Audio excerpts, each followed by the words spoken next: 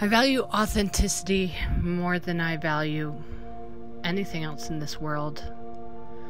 I think being authentic means that you're the truest version of yourself, and that means that I could trust you.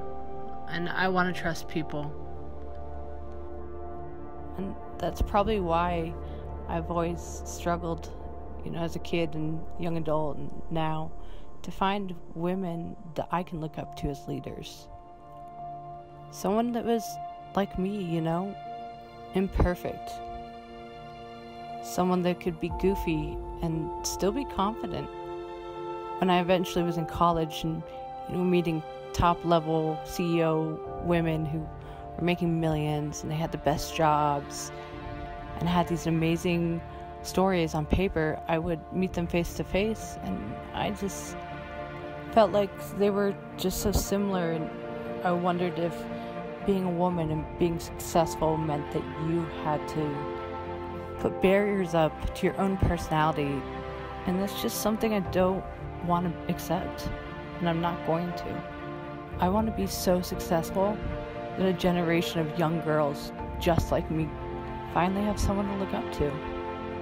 And yeah, you, you see authentic women in comedy and acting and music, but those aren't the women who are making the Fortune 500.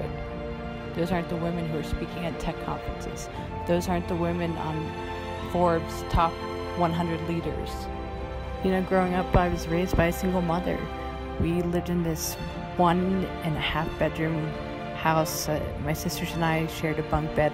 My mom slept in this makeshift living room. And I remember just being so embarrassed of where I lived, so embarrassed of getting free lunch at school, so embarrassed that my mom never came to events because she had to work.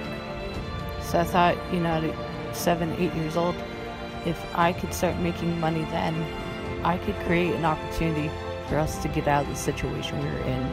That's really what sparked my whole entrepreneurship business mind. I started writing business plans at eight, asking my mom how to spell half the words because I couldn't write it.